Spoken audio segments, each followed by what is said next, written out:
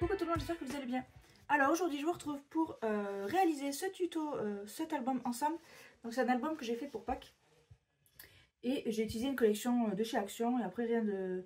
Pas de marque particulière à part les tampons ici qui sont des, des Scrap Didi, aussi. Et on va réaliser cet embellissement aussi ensemble. Ah quoi que non c'est dans un autre tuto. Et bon voilà, je vous montre l'assemblage, la création, la décoration de chaque page. Euh, c'est un album très simple. Très très très très simple. C'est des pages à 4 collées euh, les unes euh, au dos des autres. Je vous montre. Donc il s'ouvre comme ceci. Et en fait c'est juste des pages dos à dos.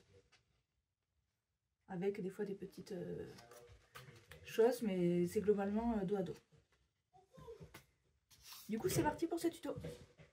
Alors pour mes 11 pages que j'ai pliées en deux, j'ai choisi un format un peu plus petit que du A4 parce qu'en fait je voulais mettre des photos en pleine page et mon imprimante n'imprime pas euh, jusqu'au bord euh, des pages.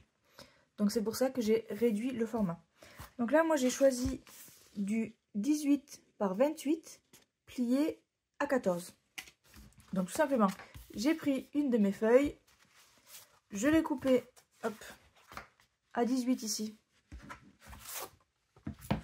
Je vais mettre le tapis dans le bon sens vous voyez. Je l'ai coupé à 18 et à 28.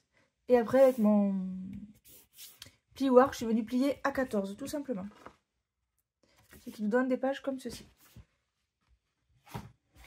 La reliure, ça va être une reliure toute simple. Je vais juste coller les pages. Voilà, j'en prends deux, comme ceci. Je vais juste coller les pages dos à dos, tout simplement. Donc il n'y aura pas de tranche. Ce que je vais faire à la fin, c'est que pour la, couverture ici et ici, je vais faire un carré, enfin un rectangle en carton un tout petit peu plus grand, mais bien épais. Bien épais, genre... Euh, genre, genre, genre, genre, genre... Je cherche un morceau de cartonnette. Voilà, là c'est un reste de calendrier. Mais je vais le, mettre euh, un petit peu plus épais. De ça à peu près peu plus épais euh, de ça que la taille de mes, euh, de mes pages. Et ça fera une petite épaisseur comme ça. Alors je prendrai peut-être encore un peu plus épais. Celui-là il est un petit peu fin. Pour faire une, bonne couverture euh, bien, bien rigide. Du coup là, moi je vais... Alors j'ai imprimé toutes mes photos. Hop, ah, j'ai mis des caches. J'en ai de plein de tailles, etc. Ça c'est les pleines pages. J'ai pas découpé parce que je vais d'abord coller sur le papier et après venir découper euh, à fleur du papier, ce sera plus joli. Je voulais pas avoir un problème de, décalage de taille. Du coup là j'ai toutes mes photos. Moi ce que j'ai fait en amont, je me suis fait un petit... Euh, je pourrais pas vous le montrer mais je vous mettrai un capture d'écran euh, ici. Donc, vous, donc là j'imagine qu'il y a la capture d'écran.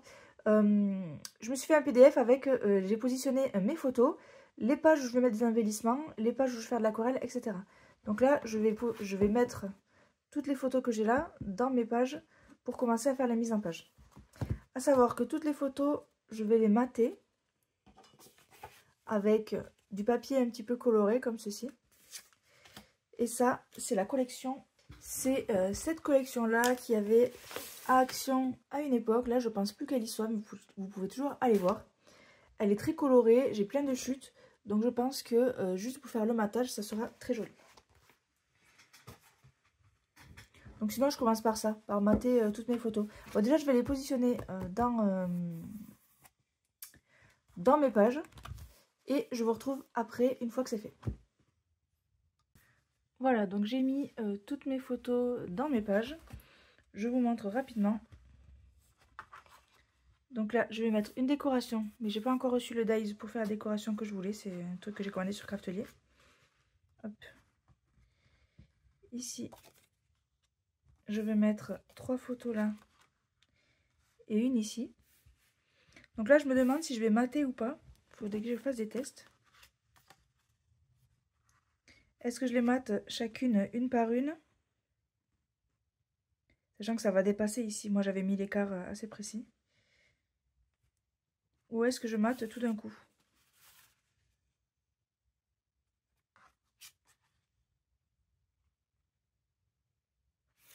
Je vais mater tout d'un coup là pour ces trois-là. Donc là, il faut que je fasse un rabat pour mettre les deux photos. Ici, j'ai une grande photo. Alors, j'ai remarqué que beaucoup de mes grandes photos étaient à, droite, à gauche. C'est pas grave, on va garder comme ça. Là, j'ai deux photos. À voir comment je positionne. Voilà.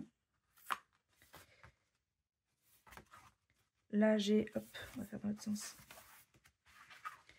Quatre photos. Et ici, je vais avoir une décoration avec un tampon, un tamponnage. Il faut que je fasse ça. Je pense que je vais faire ça avant de coller les photos pour être sûr euh, que le tamponnage et ce que j'ai fait me, plaisent. Ensuite, ici, j'ai là une photo et là deux. Il faut que je fasse une soit une cascade, soit euh, faut que je fasse un volet, un rabat. Ici, j'ai une grande photo et là, deux photos comme ceci. Pareil, que je mets en face à face ou pas. C'est pas obligatoire. Je fais un peu ce que je veux. Ici, j'ai cette déco ici, dont je vous parlais tout à l'heure. Hein, avec... faut que je fasse l'aquarelle, etc.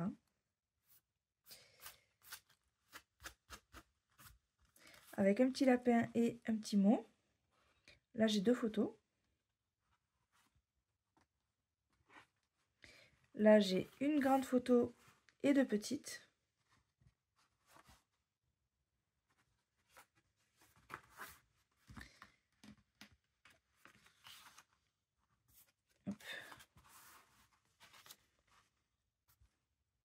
Là, j'ai trois photos ici, une ici. Et là, j'ai deux photos. Je vais sûrement mettre cet embellissement là, je vais voir.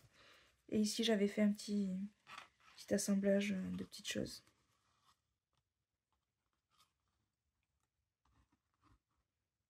Quelque chose un petit peu comme ça. Avec euh, de l'aquarelle aussi et peut-être encore euh, d'autres petites choses.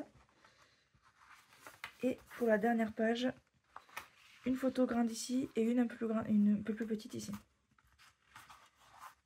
Voilà, c'est tout. Donc là, je vais faire le matage de, mes photos, comme j'ai à peu près vu ce que je voulais faire. Donc là, je touche pas. Là, je vais faire un seul morceau. Du coup, je fais ça en accéléré avec vous. Euh, si ça vous intéresse pas plus que ça, bah, passez à la partie suivante et il n'y aura pas de problème. Et là, il faut que je réfléchisse à comment je vais faire le... Soit c'est une photo que je viens cacher, mais c'est la même taille, donc je pense pas soit euh, je fais un rabat. Il faudra que je trouve quelque chose à mettre dessous. Allez, c'est parti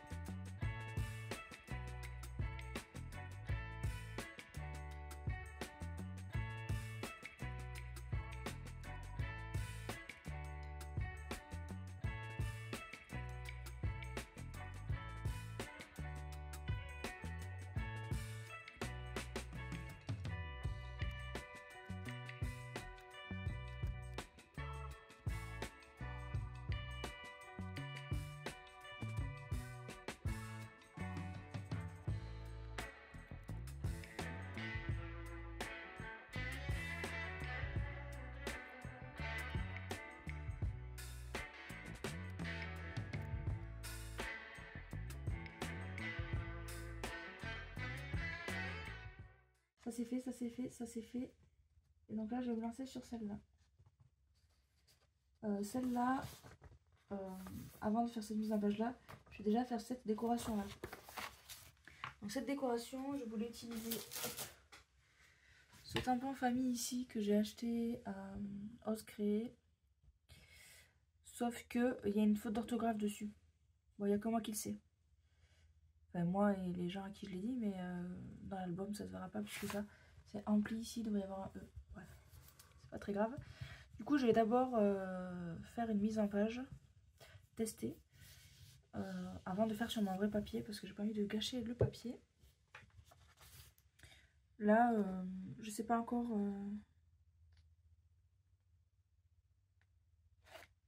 Je sais pas ce que je vais faire. Je sais pas. j'ai je sais pas. du coup, je vais me lancer là-dedans. Et j'aurais bien voulu utiliser euh, ces feuillages Artemio en bois. Parce que je me demande si je me le garde pas pour la couverture. Mais ça pourrait aller bien sur cette page aussi là. après j'en ai assez pour en faire euh, plusieurs. Mais... Euh, Mais je voudrais pas que l'album soit trop épais.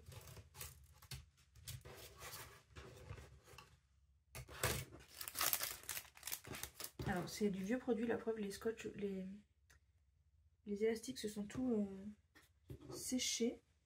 Moi je l'avais acheté dans un magasin à Agen, mais euh, c'est du Artemur, donc euh, voilà. Et en fait, que je vous montre, il y a deux tailles, trois tailles, pardon, de feuillage 18 pièces, il me dit. Donc, pour les feuillages qui font 10 par 6, on peut en faire 3. Les feuillages qui font 14 par 8, on peut en faire 3. Et les feuillages qui font 17 par 10, on peut en faire 3. En fait, vous avez, à chaque fois, un euh, ajouré et un plein. Et euh, vous pouvez, du coup, les mettre l'un sur l'autre pour faire une fleur en 3D, une feuille en 3D. Ou pas, hein, c'est au choix, c'est comme vous voulez. Donc ça c'est le petit format, le moyen et le grand. Je mets les trois à côté. Petit, moyen, grand. Je me dis que le grand, je peux le garder pour ma couverture.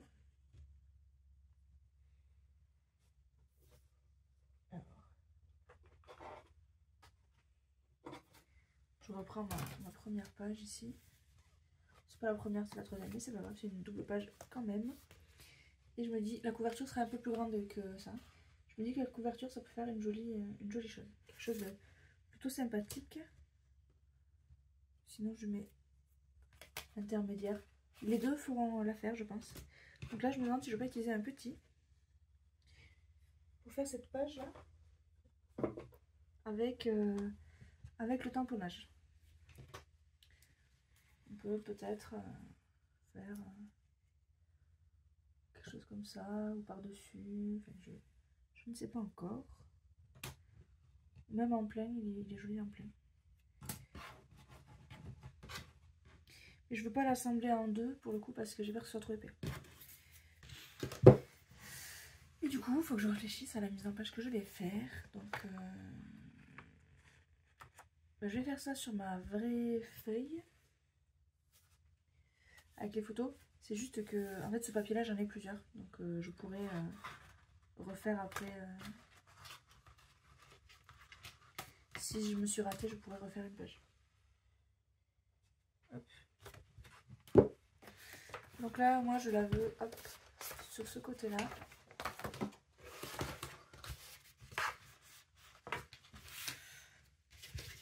Donc le tampon, il est assez grand. Hein. Je vais le mettre sur le bureau. Il va largement remplir euh, ma page. Par contre, c'est du papier texturé, j'ai peur que ça ne se tamponne pas bien du tout. Euh, peut-être que je vais utiliser ma... Non, ma plaque. C'est possible, c'est un tampon en bois. Je sais pas. On va falloir que je fasse des tests. Allez, c'est parti.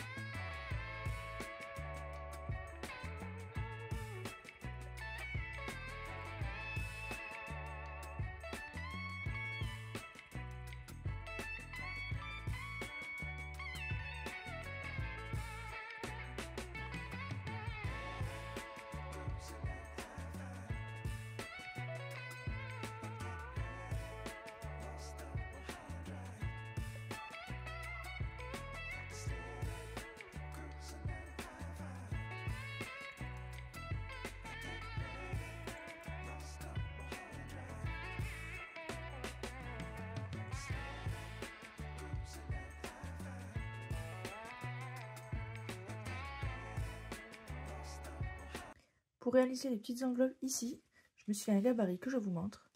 Donc c'est un carré de 4 sur 4. Après, j'ai dessiné une pointe un petit peu arrondie à 2,9 à peu près. Et là, pareil, vous pouvez faire 3. C'est la même à chaque fois. Et là, j'ai fait la tête de l'enveloppe tout simplement. Voilà, pardon. À 2 euh, cm, une pointe à 2 cm. je vous laisse pour que vous puissiez reproduire.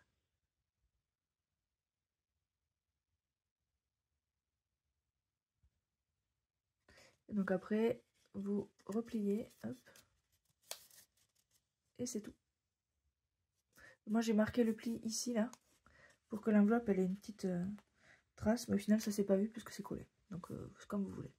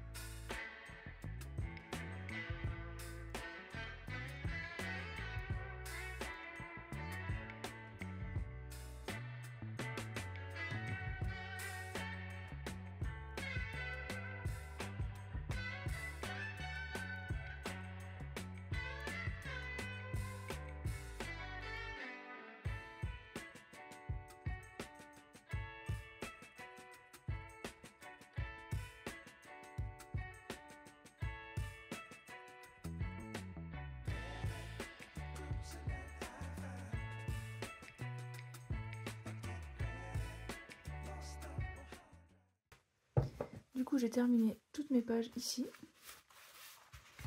Je les ai mises dans l'ordre et là, je vais les coller entre elles.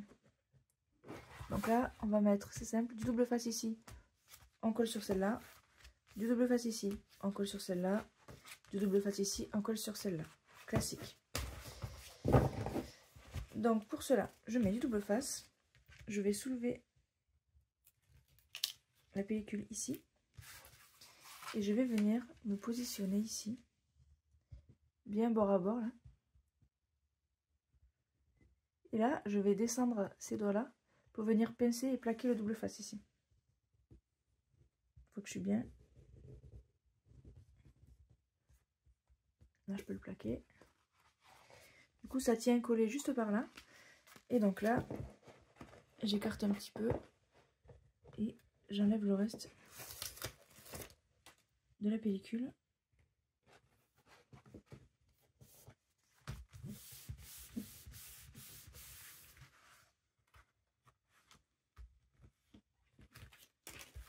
Donc là j'ai fait ça et j'ouvre, j'enlève le double la pellicule ici.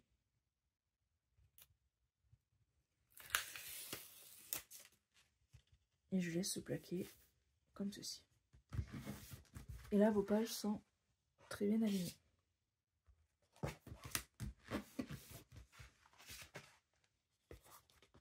Donc là, vous avez les deux premières pages attachées l'une avec l'autre.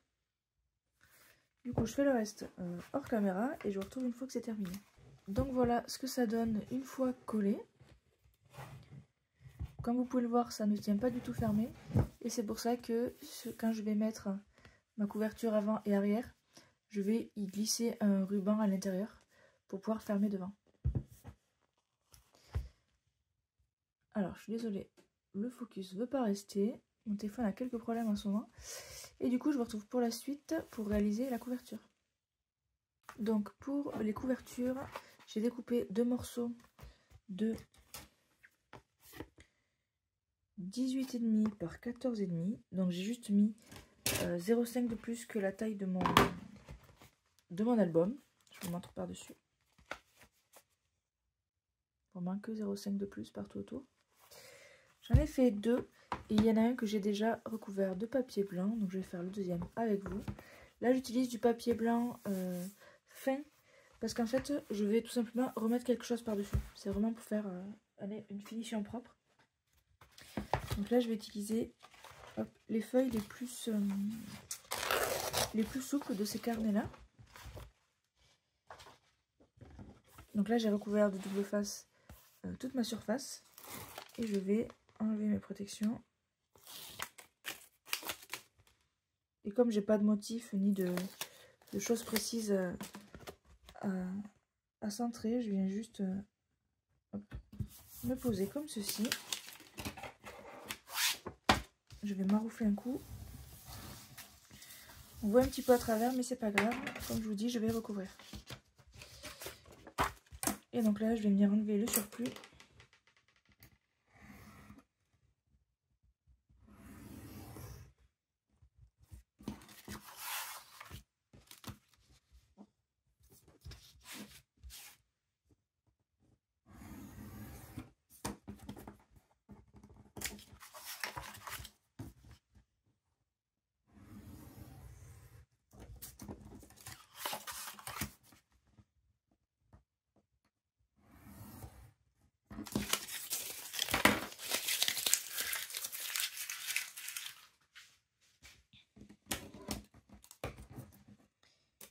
Je viens aussi enlever le surplus dans les angles.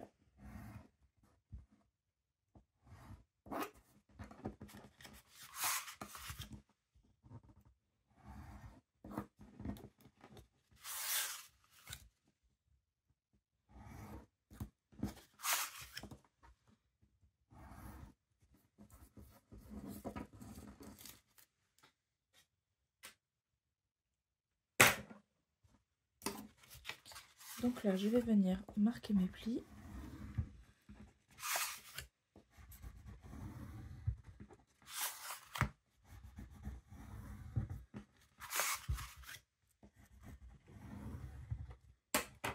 Et je vais rabattre tout simplement chaque côté.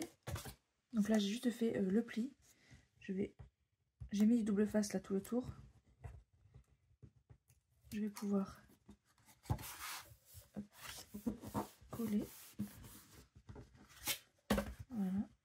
Moi, je fais toujours à l'opposé. Donc, je vais faire celui-ci après. Donc là, je marque mes plis. Et après, je viens coller.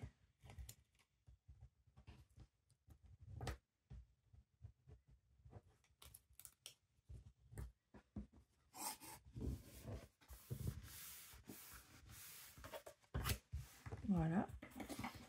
Je viens mes angles ici.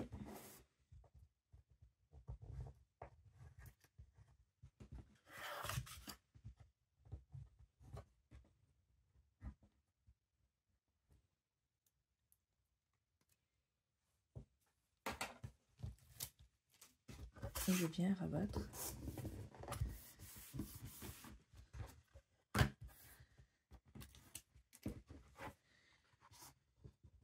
Et ici, pareil.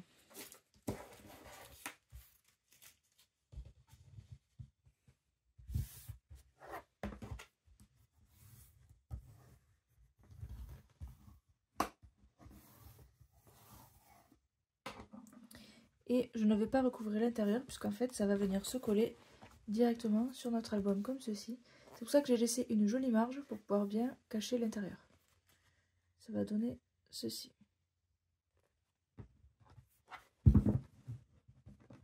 Ça me donnera ceci.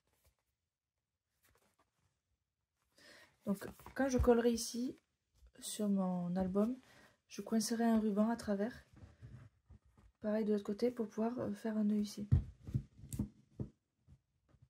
Donc là je vais passer à la décoration de la couverture.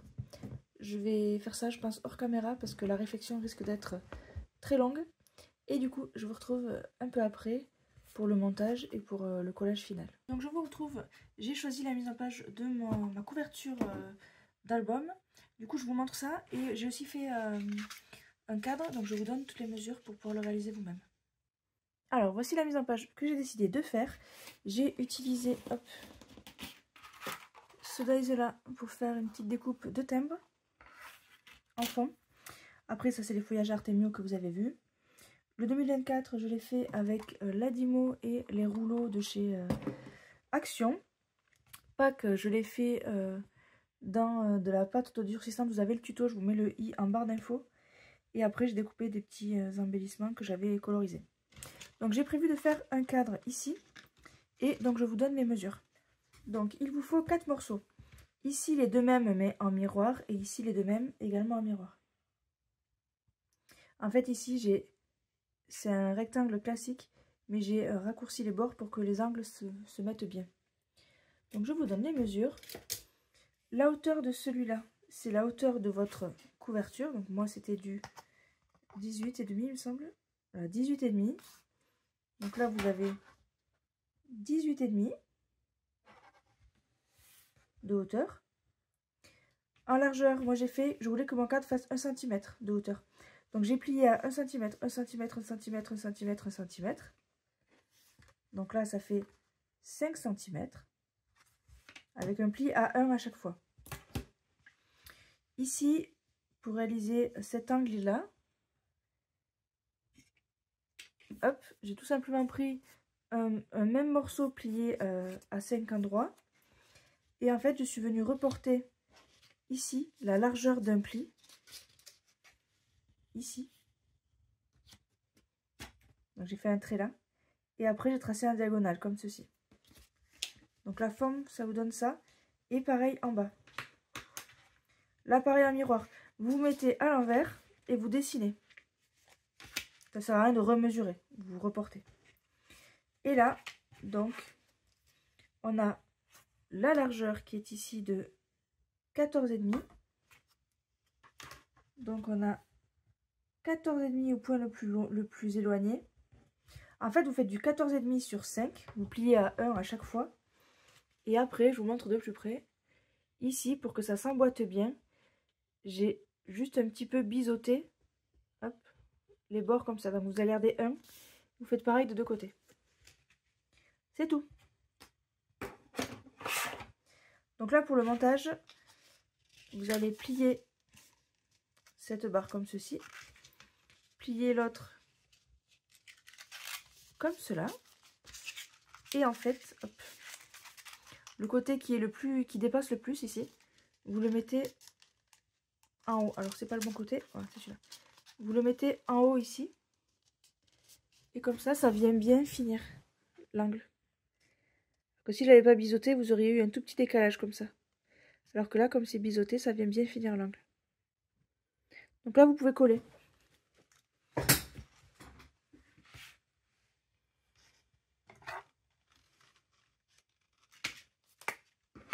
Donc déjà, on va mettre de la colle ici.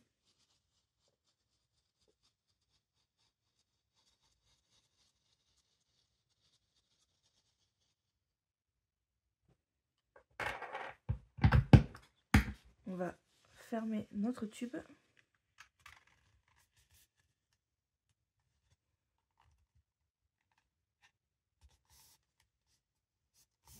Et là, il faut bien le tenir le temps que ça sèche.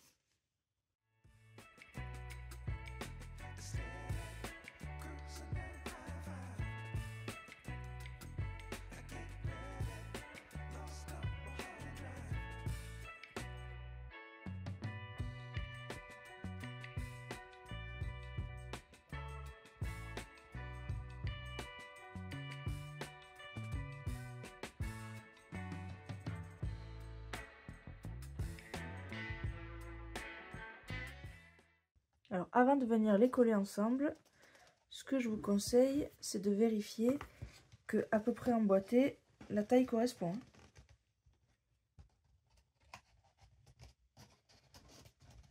moi, ça devrait aller. Donc, je vais pouvoir les coller. Donc, je vais mettre un petit peu de colle ici et un petit peu de colle ici. Parce qu'à l'arrière, ça va venir se mettre là. Et ça, ça va venir se mettre sous ma petite paroi là. Donc ici. Et ici.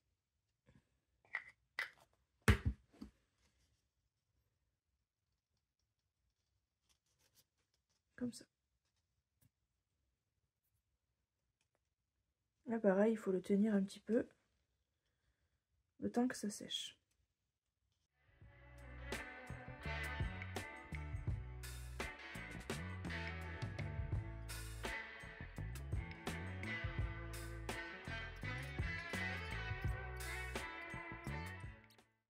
J'ai préparé ma mise en place d'album.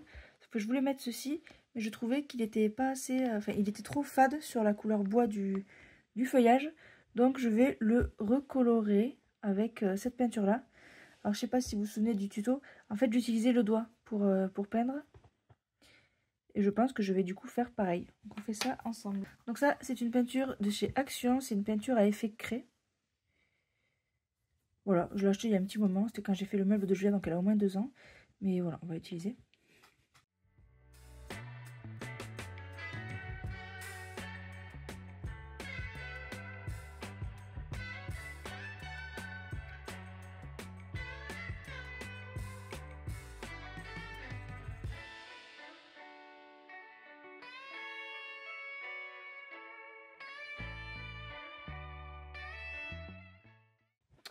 Je trouve que c'est bien mieux. Alors vous, vous le voyez très clair, mais le rose est très bien.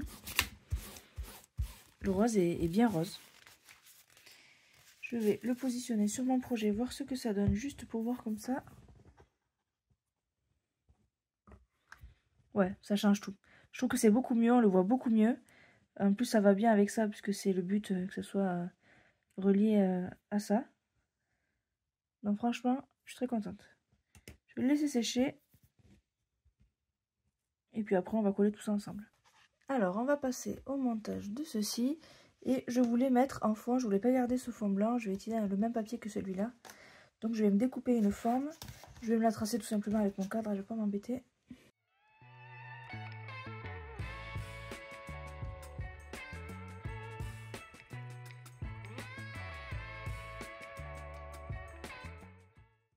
Pour cet album, j'aimerais mettre un bijou d'album que j'aimerais faire avec euh, des perles comme ceci. Donc il faut que je trouve une manière de le fixer à ma, couverture. Et ça c'est un peu plus délicat. Donc, ça va être comme ceci. Voilà. Donc moi ce que je pensais peut-être c'est avant de coller ça sur mon support, de peut-être euh, passer une languette ou, euh, ou je sais pas. Il faut que je réfléchisse. De passer quelque chose.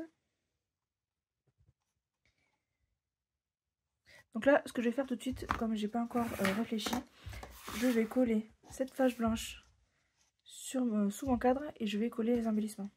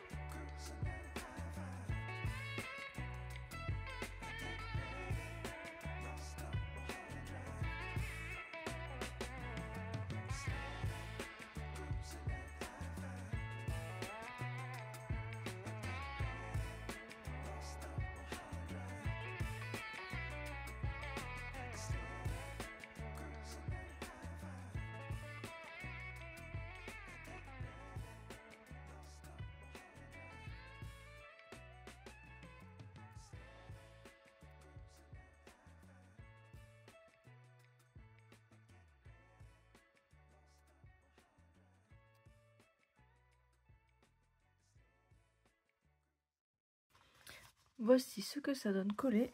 Alors, le pack ne tient pas très bien. Je vais voir si j'y mets pas du glossy accent plutôt. Et du coup, j'ai mis un petit peu de mousse 3D sous les petits, petites, euh, petits lapins et tout. Et je suis très contente du résultat. Donc maintenant, je vais passer euh, au bijou d'album. Il faut que je réfléchisse à comment je vais le fixer euh, sur mon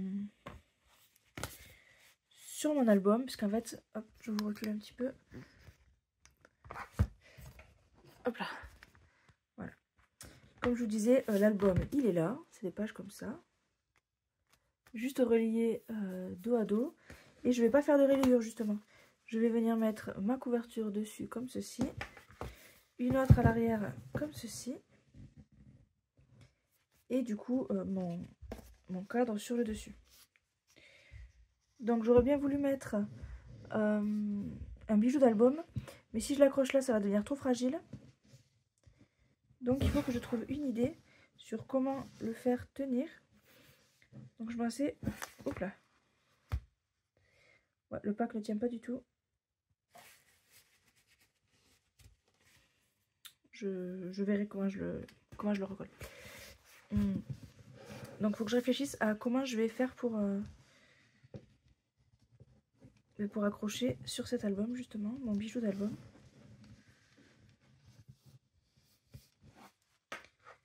Sachant que je voulais également passer un ruban euh, ici. Entre là et là. Et du coup le faire venir ici.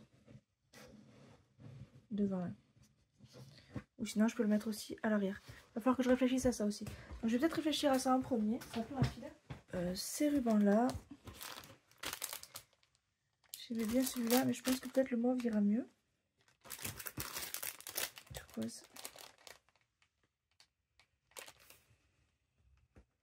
Parce que je pourrais très bien mettre, euh, comment dire, un ruban ici et un ruban ici et accrocher mon bijou sur le ruban, justement. Accrocher mon bijou sur le ruban.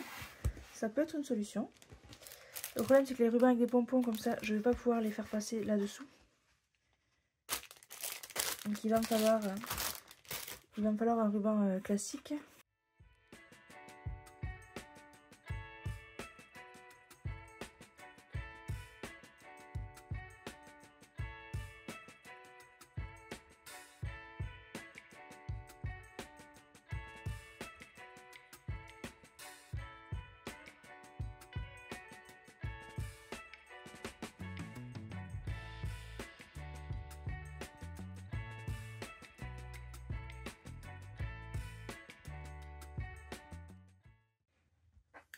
Donc j'ai décidé ma reliure.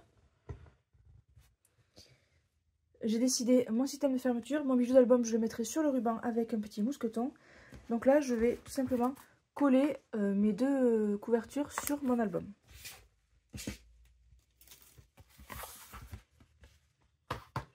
Donc pour ça, vous allez mettre du double face sur lui. Donc je mets du double face partout ici et je viens coller ça par-dessus.